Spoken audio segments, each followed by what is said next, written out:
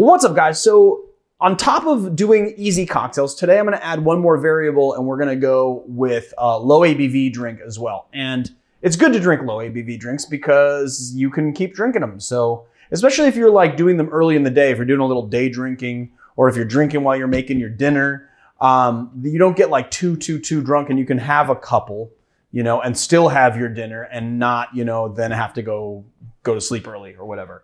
Um, I've been drinking a lot of wine. I don't know about you guys, but I have been drinking a lot of wine uh, while I've been stuck at home these days. Uh, and it led me to this drink that I think is absolutely phenomenal. And the great part about it is that you can actually utilize wine that you've had left over. So I had this bottle of wine that we didn't finish, um, and it got left out without a cap on. So it, it, it definitely oxidized. It is not yet vinegar, but it is not, you know, it's not going to be a good glass of wine, but it will make a fantastic cocktail. So I decided that we would do a kitty highball. The kitty highball was first published by a guy named W.C. Whitfield and uh, in a book called um, Mixed Drinks and Cocktails, published in 1939. And then the version that we're going to do today is actually from a bar called Fresh Kills in New York. And they basically took the buck template right? With uh, with like fresh ginger syrup and lime, uh, and top off with soda uh, for a really nice take on this very very gingery sort of take on this, a little bit deeper in flavor. Uh, the original is just equal parts um, uh, wine and ginger ale.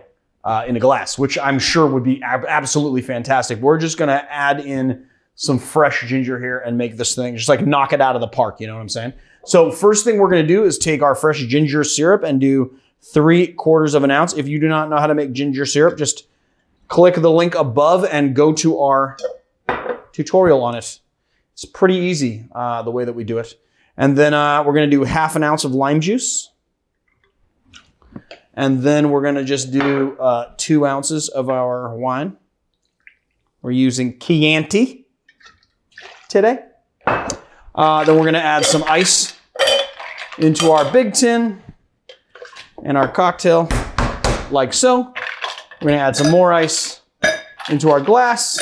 I actually just made, I just cut a big old block of ice. So I'm just using all the ice ends to create my ice for my cocktail. I'm going to give this a nice shake.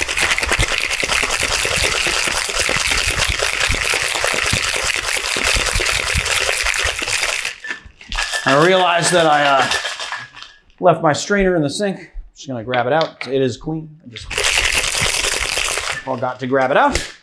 I'm gonna unlock the tin. This is gonna be nice and frothy here. I like to do a little double strain.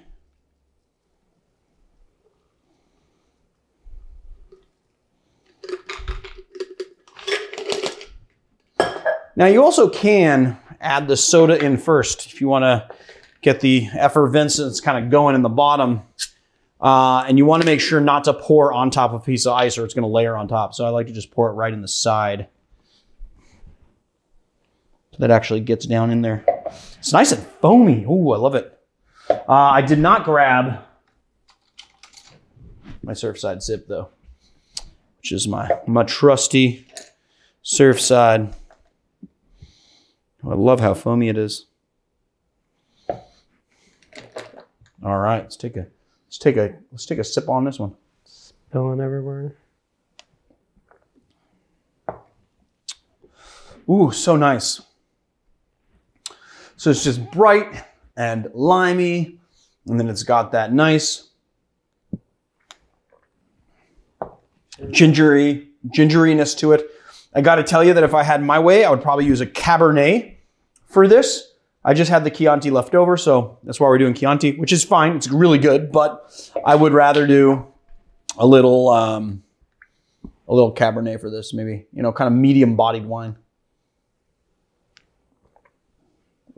Really nice though, and low ABV. So this is just like a nice alternative to drinking a glass of wine at the end of the night.